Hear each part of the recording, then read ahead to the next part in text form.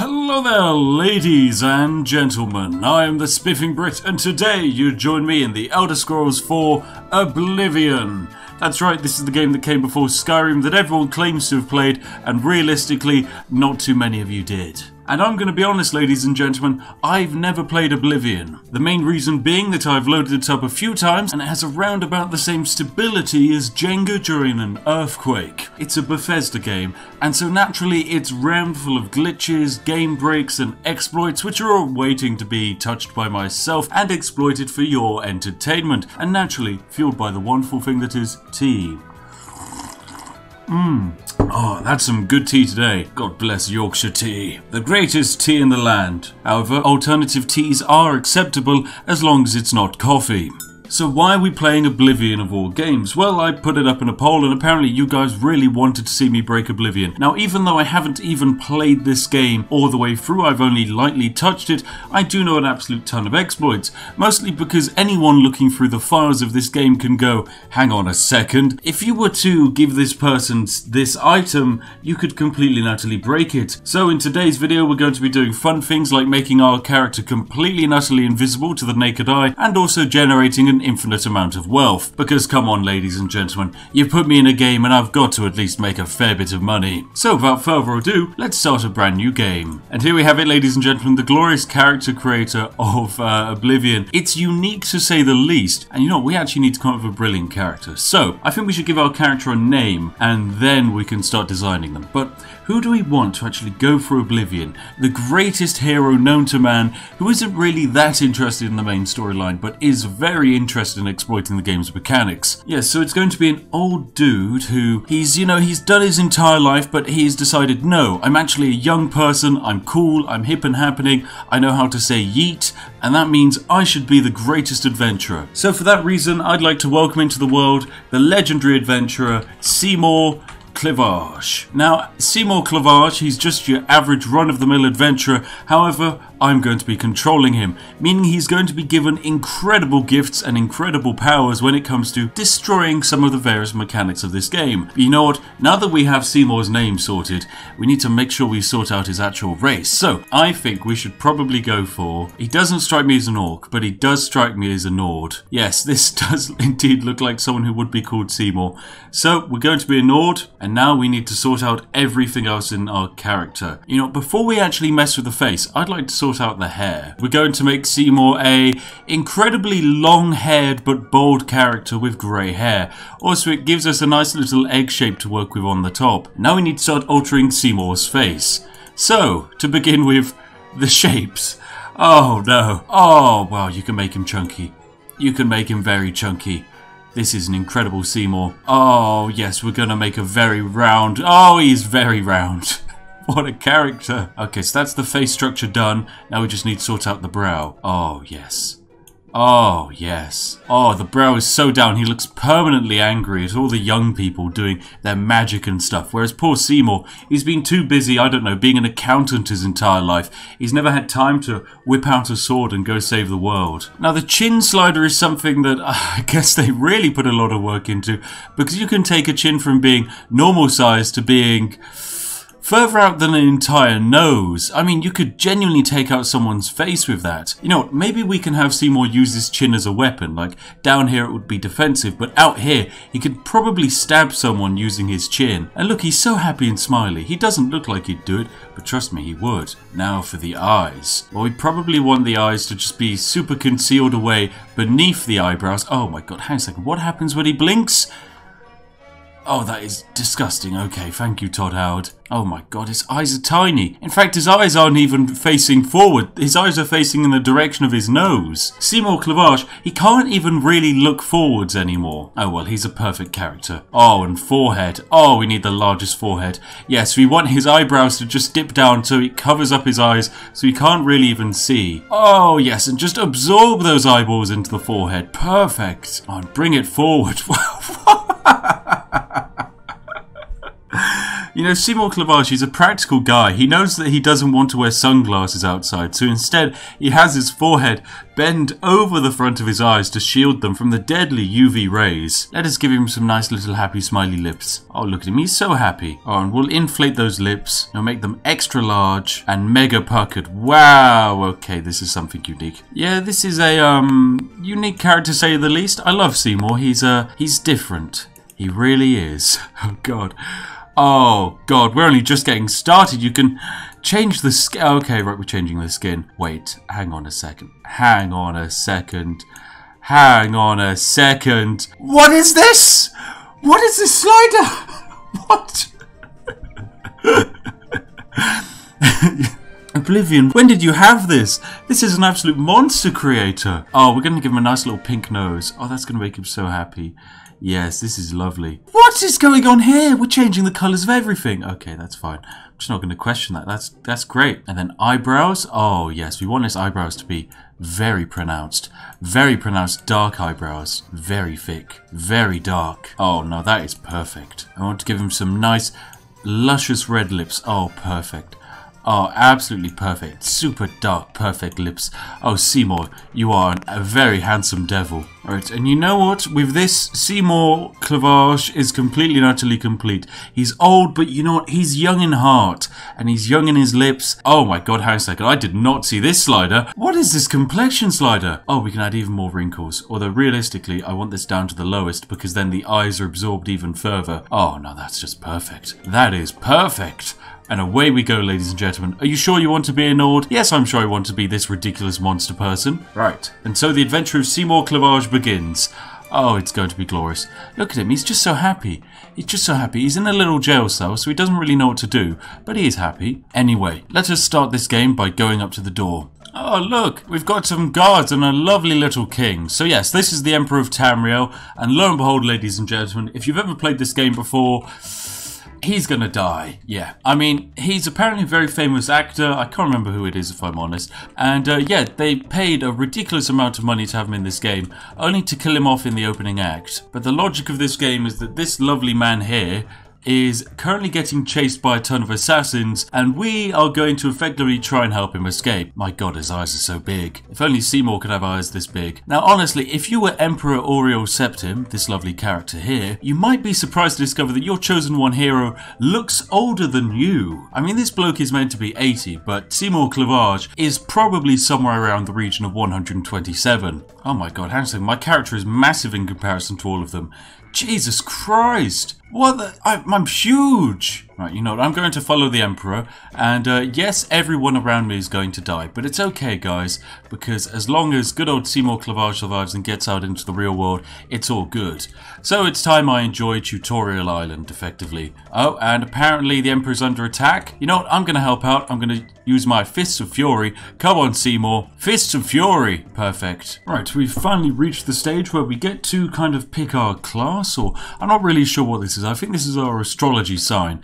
Now, these have some wonderful power-ups. So, for example, the Apprentice, you uh, gain the ability to get an extra 100 points of magicka, but it increases your weakness to magic damage. Uh, things like, I guess, the Thief, which grants an extra 10 point bonus to agility, speed, and luck attributes, which is quite useful. However, alternatively, the one we would like is this one right here, the Lover. This allows you to use the Lover's Kiss power once a day to paralyze an opponent for 10 seconds at the cost of 120 points of my fatigue.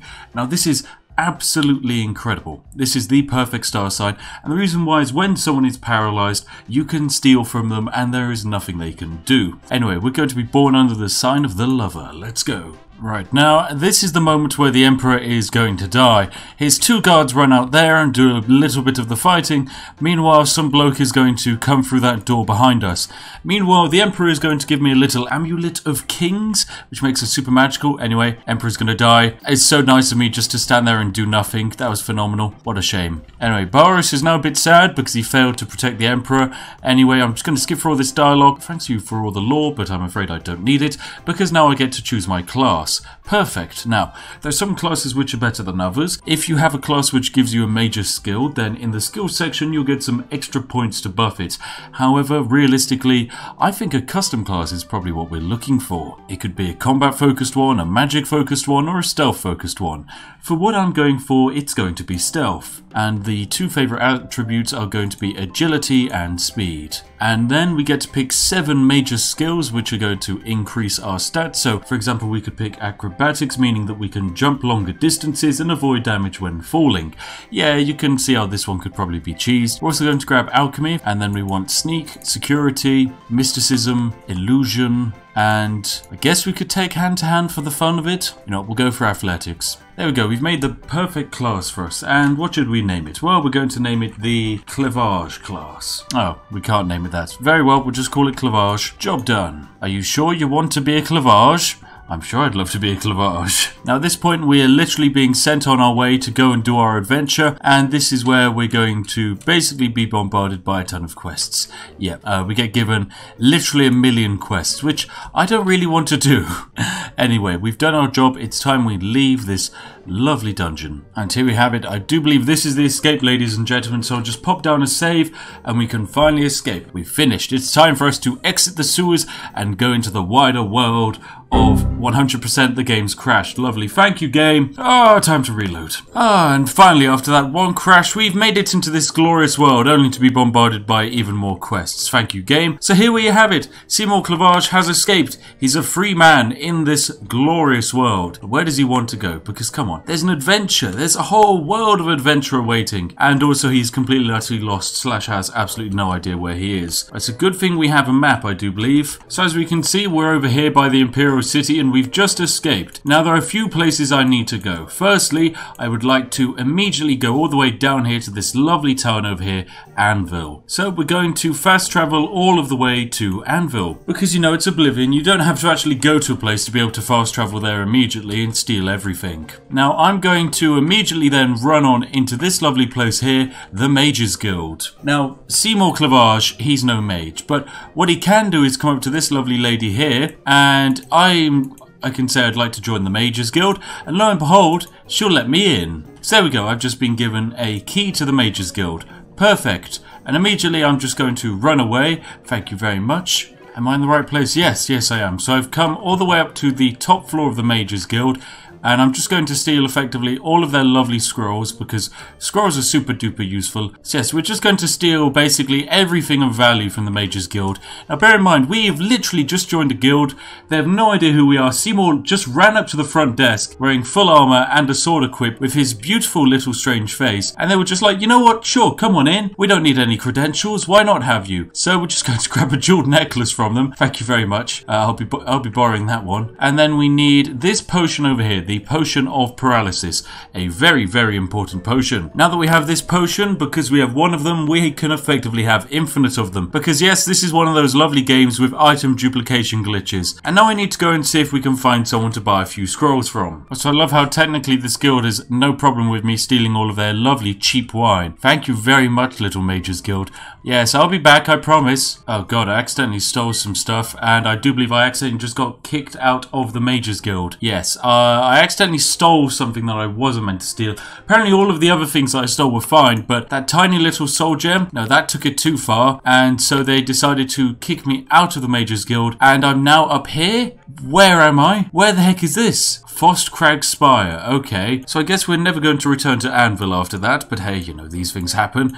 And instead we're going to be going to the lovely Imperial City Plaza. Now there is one very important person who we need to locate. Now there's all of these lovely people running around here, but realistically we don't want any of them. We want to go into this wooden door here. Now this gets us into Dorian's house. Now Dorian is a very, very special NPC. Because unlike most NPCs, he is marked as a valuable NPC in that there's something is in his inventory later in the game that needs to always be in his inventory. This creates a bit of an issue because it means if you take items from his inventory, they kind of just immediately regenerate. Which as you can probably guess, could be cause for concern turn. So what we're going to do is we're going to try and talk to him. And what we want to do is we want to basically bribe him. Now, the reason why we want to bribe him is because the money we bribe him with goes straight into his inventory. So we've given him a fair bit of our gold. How are we going to get our gold back exactly? Well, very important question, ladies and gentlemen. Hang on a second. I also just realized Seymour Clavage, he's a beautiful little gremlin, but what is going on back there? What is Dorian doing? Why is he smiling at me? Seymour, turn around, face him. Go away, Dorian. There's important things at work, which you totally shouldn't question. Here it is, Lover's Kiss. Now, if we cast Lover's Kiss on him, we paralyze him. So if we were to crouch now, we could attempt to steal from him, but uh,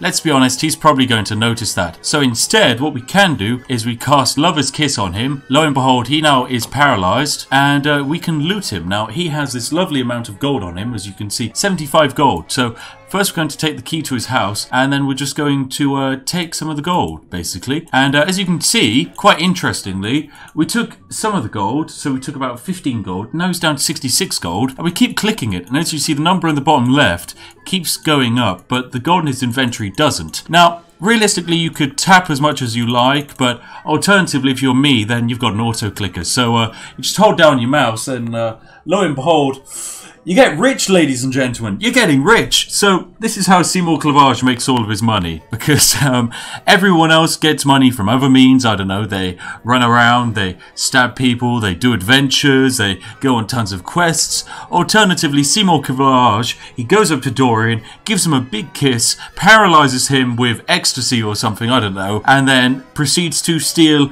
a ton of gold from his pockets. Oh, it's glorious. So yes, we're currently up to 31,000 gold. I'd like to point out that this game has been out for, oh goodness, I think it's about 13 years now, and they've patched it multiple times, but this has still never been fixed. I have no idea why. So I'm just going to hold my mouse down and I'll get back to you once we have a fair bit of money. Oh, there we have it, ladies and gentlemen. I've just used my auto clicker, and lo and behold, we now have 1 million gold.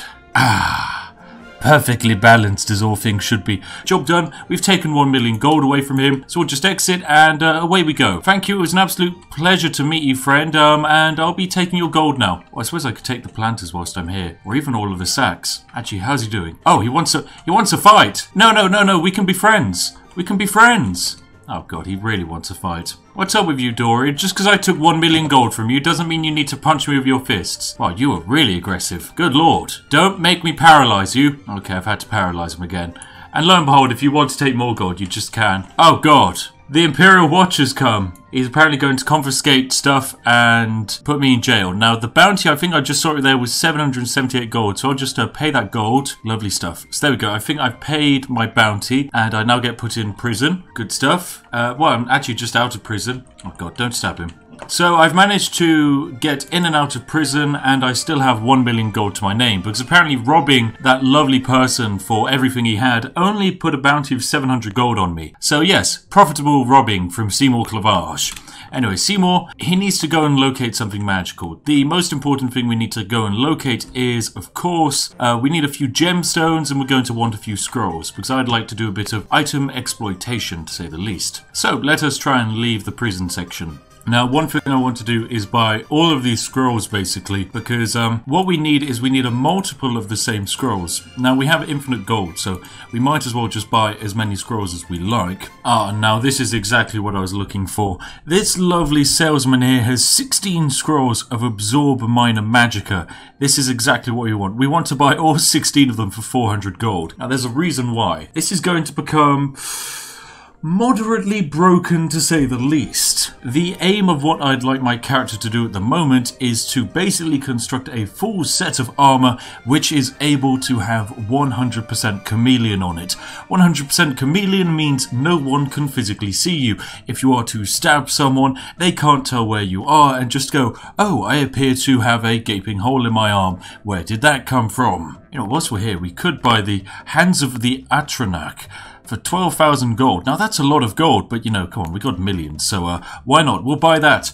And there's going to be a reason why. I think we can do something magical with this scroll. Anyway, there we go. So we have success. We have a large amount of scrolls and an item that I would like to duplicate. So, how do we start? Well, it's quite simple. Oh my god, is that an Argonian? Oh my god. Oh, they look so silly. What is up with their body? Although, to be fair, I say they look silly. I mean, we do also have this lovely gremlin here to compare. Anyway, it's perfect in my opinion. So, how are we going to duplicate items? Well, it's actually relatively simple. So, to start off with, you want to get the stack of scrolls that you have. So, our lovely Absorb Minor Magicka scrolls, and we want to click on them and have them selected. So, there we go.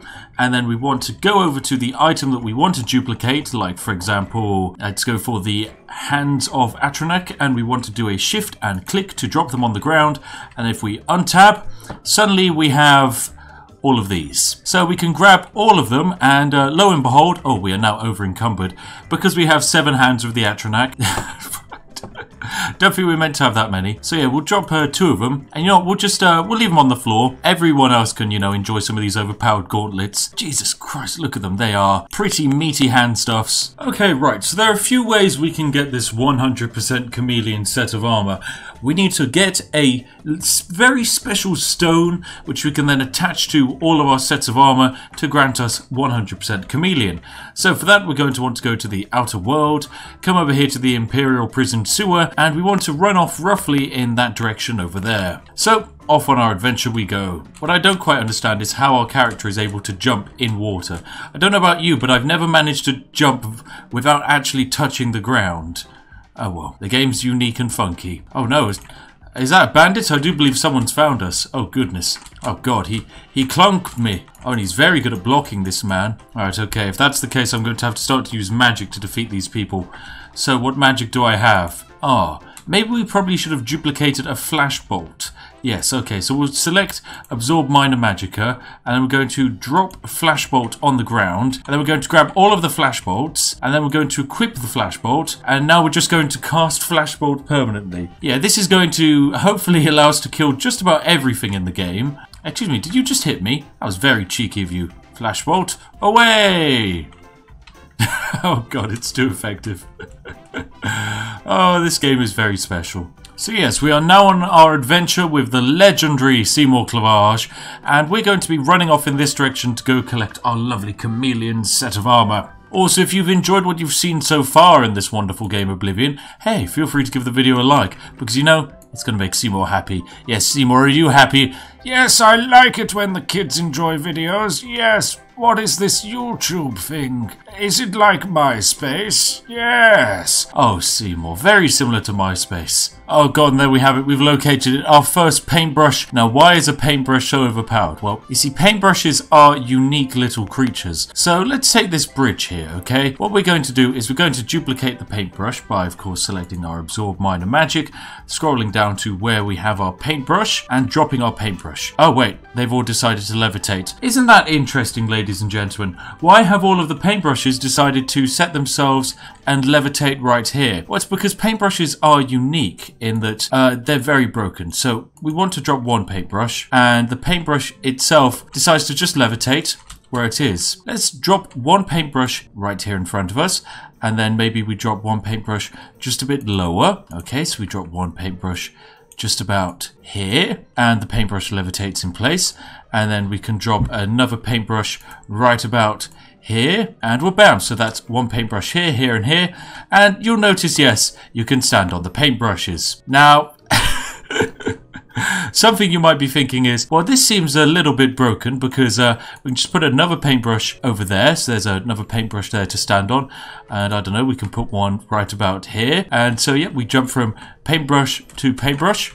So there we go, we stand on top of these paintbrushes, and we can just keep climbing through the skies on our magical paintbrushes. Oh yeah, this game is um quite unique. Alright, so I need to try and locate a gate to Oblivion. Now, a gate to Oblivion allows us to get into this evil, dark world and hopefully uh, find a tower. And then there's this tower which gives us a percentage chance of giving us a chameleon thing which we can strap onto the side of our armor. So yeah, I just need to try and locate the nearest entry point into a gate. Whereabouts are you? Here it is, Kvatch. So, yes, we're just going to fast travel all the way over to Kvatch, lob our way through the Oblivion Gate, climb up the towers and hopefully break the game in order to get our 100% chameleon. All these lovely things. Oh my god, why is the sky going funky?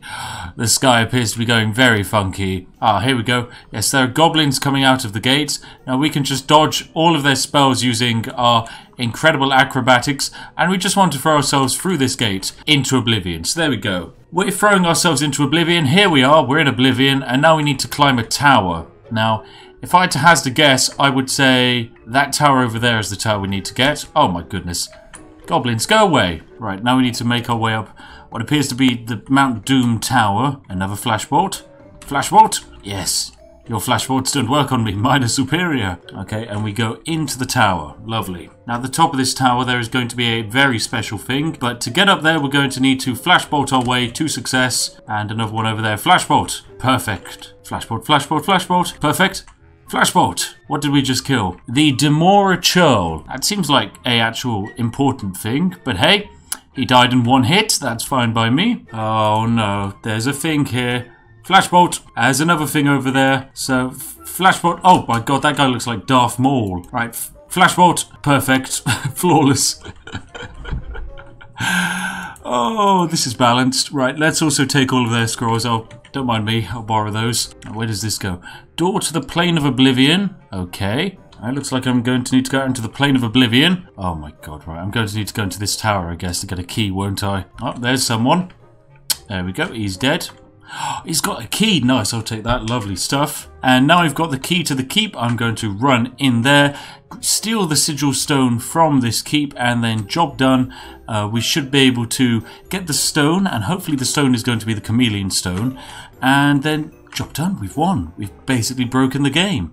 So there we go. We're going to open this. Door opens with the sigil key. I know. Lovely stuff. And we get to climb all the way up a lovely evil staircase. Oh goodness, this looks very intense. Right, and up we come. A very poorly constructed staircase right here. Oh, and a couple of crap goblins. Nice. Right, let's flashbolt them. Flashbolt. And flashbolt. And flashbolt. Flawless. We've nailed it. Right, now we just need to run on up these stairs. Honestly, why is anyone having problems dealing with all of the enemies of Oblivion? Just mass produce the flashbolt scrolls and job done. You've won. Game's yours. So now when we grab this thing, we get a special stone. Now there's a percentage chance that it will have various modifiers like chameleon or maybe just better light armor or whatever. So we want to make sure we get the one that we want. And so for that, we drop down a lovely save point. What we need to do is come up to this lovely little podium here and grab the sigil stone. Now, whatever sigil stone you get depends on the situation.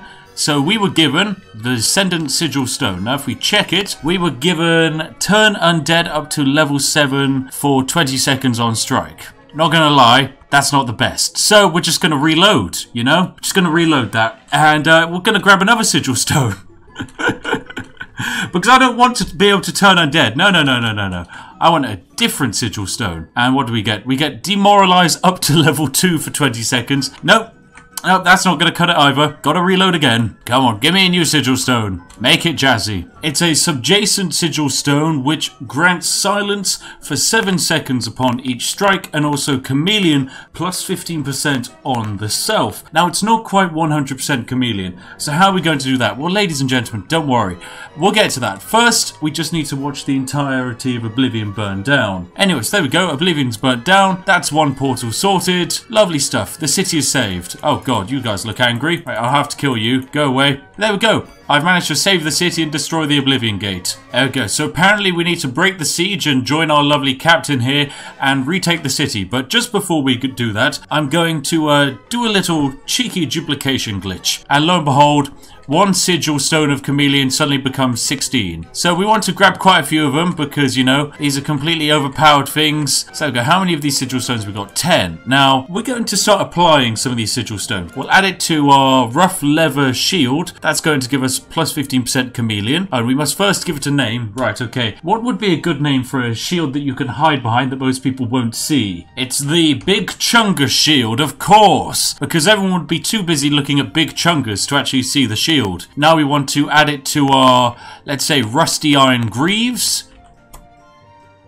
And also apply it to our jeweled necklace and call it jazz. And then our rough leather boots. We're gonna call these bad boys camo boots because I mean, come on, as soon as you wear camouflage, you physically can't even be seen. And there we go, job done. Now if we try to wear some of these items, our camo boots, our Jazz and our big Chungus, we can see that we have plus 15% chameleon from this, plus 15%, so we're up to 30, and then we have another 15% here, so we're up to 45%, and then add another 15 here, so we're up to 65%. We need to make it even better. And for that, I'm afraid we're going to need to get rid of our gauntlets and our armor. In fact, we just need more clothes, basically. More clothes are needed, sire. Right, so uh, let's join the assault, I guess. Break the siege, and hopefully a few soldiers will die, and we can steal their armor and convert it into something jazzy. So here we go. We find ourselves in the city, and there's a bit of a fight going on here. Now, uh, we could help out with the fight. Alternatively,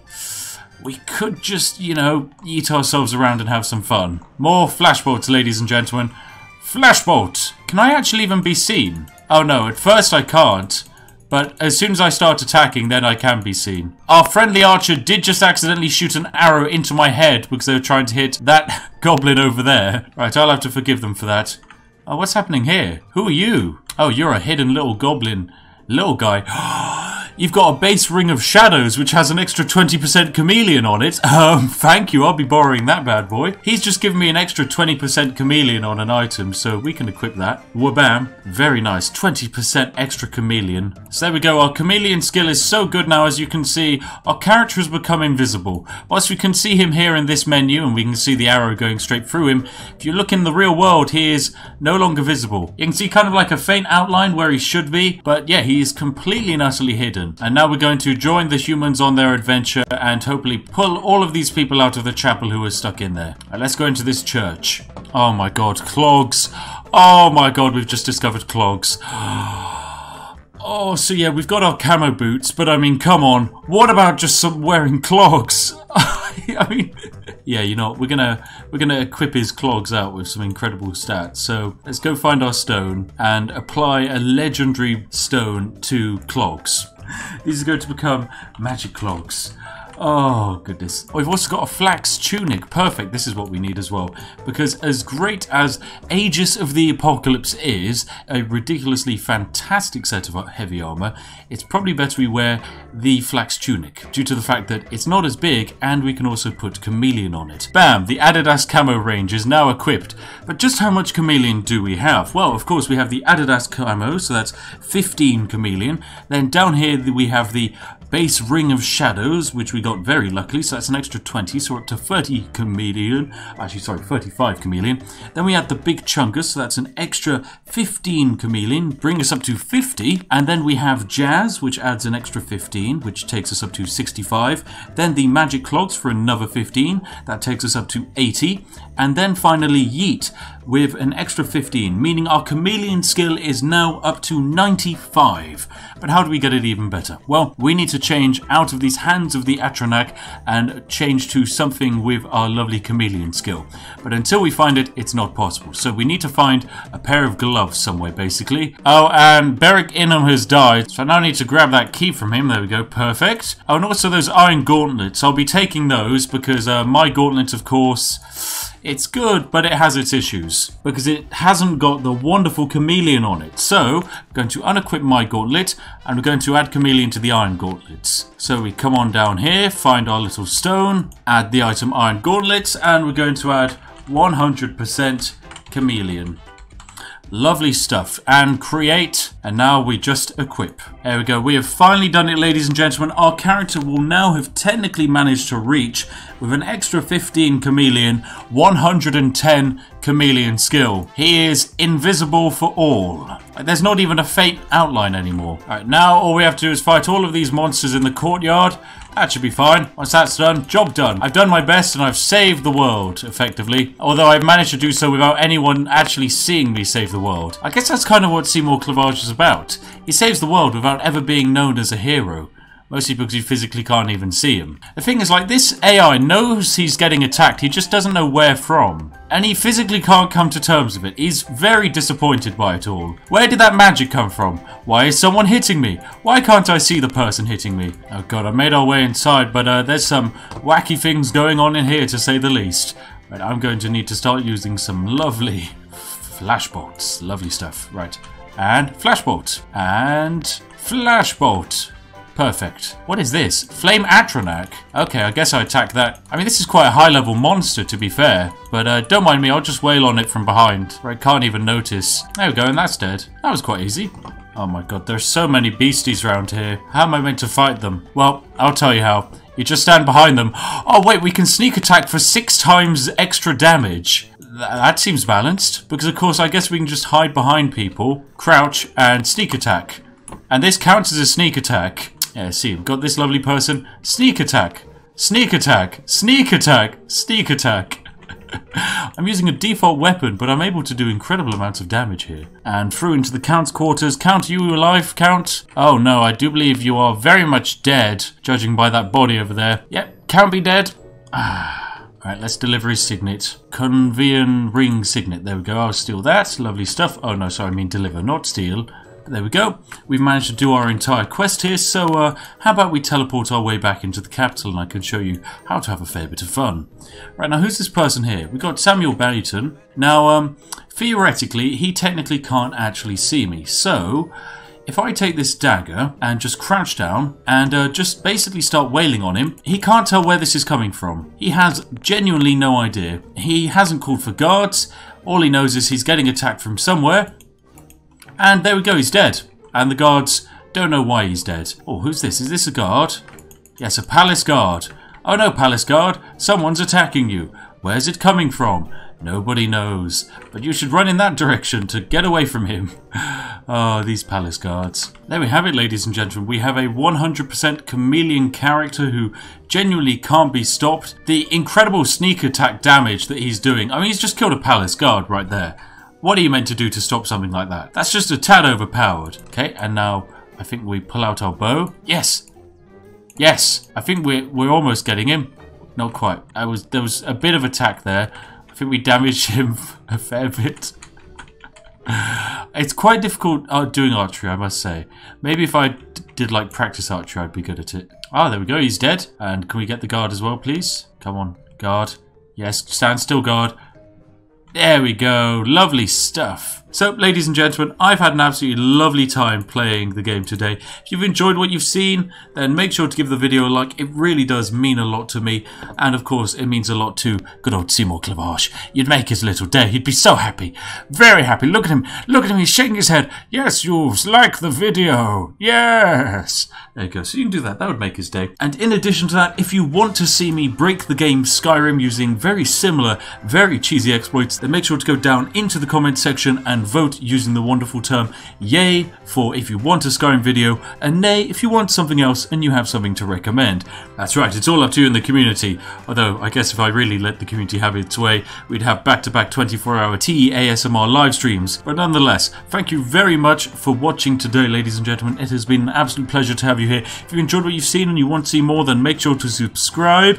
It would be absolutely wonderful to have you in the community. That's right, that's the name of the group here. We want you in it you'd be perfect.